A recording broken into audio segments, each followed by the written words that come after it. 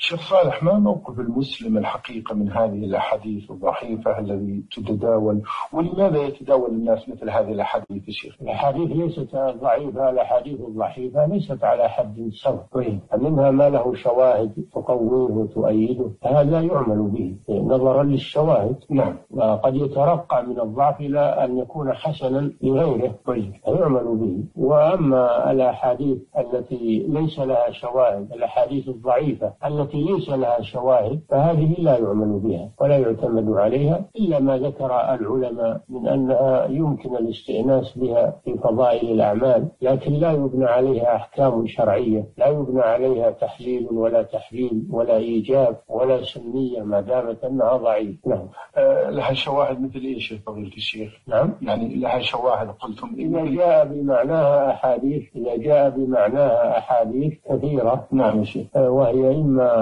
إما صحيحة وإما حسنة فإنها تؤيدها ويعمل بها. نعم.